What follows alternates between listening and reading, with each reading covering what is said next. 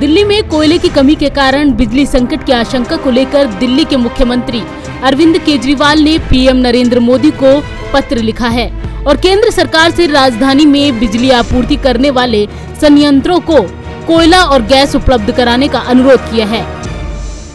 मुख्यमंत्री ने ट्वीट कर कहा है कि दिल्ली को बिजली संकट का सामना करना पड़ सकता है। मैं व्यक्तिगत रूप से स्थिति पर कड़ी नज़र रख रहा हूँ। हम इससे बचने की पूरी कोशिश कर रहे हैं।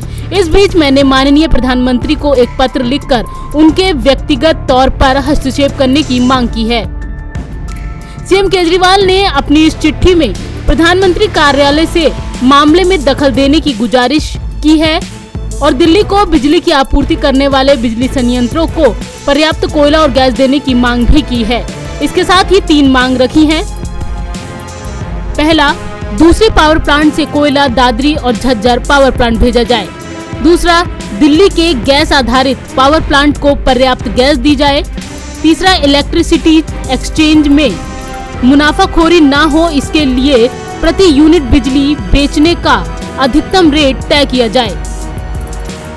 दरअसल, शनिवार को ही Tata power Delhi distribution limited के सीईओ गणेश श्रीनिवासन ने कहा है कि आने वाले दिनों में दिल्ली में रुक रुक कर लोड शेडिंग हो सकती है। टाटा पावर ने एक बयान में कहा है कि कोयला आधारित बिजली पावर प्लांट के पास कोयले का सिर्फ़ एक से दो दिन का स्टॉक ही बचा है।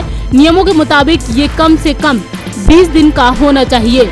उन्होंने कहा है कि दिल्ली में रोटेशनल लोड शेडिंग हो सकती है।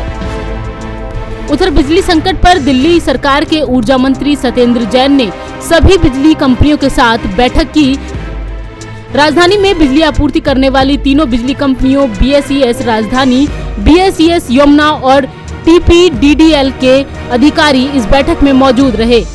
बैठक में इस बात पर चर्चा की गई कि कोयले की कमी से उत्पन्न हुआ बिजली संकट कितना बड़ा है और इसे कैसे टाला जा सकता है। वैसे तो कोयले की कमी की वजह से देश भर में ये संकट मंडरा रहा है, लेकिन एक रिपोर्ट के मुताबिक दिल्ली में कोयले की आपूर्ति का संकट इसलिए गहराता जा रहा है क्योंकि दिल्ली में 64 नॉन पिथेड पावर प्लांट में चार दिन से भी कम का स्टॉक बचा है। केंद्रीय विद्युत प्राधिकरण की नवीनतम रिपोर्ट से ये भी पता चला है कि 25 ऐसे बिजली संयंत्रों के पास 3 अक्टूबर को ही सात दिन से भी कम समय का स्टॉक बचा था। नवोदय टाइम्स के लिए संगीता सिंह की रिपोर्ट, दिल्ली।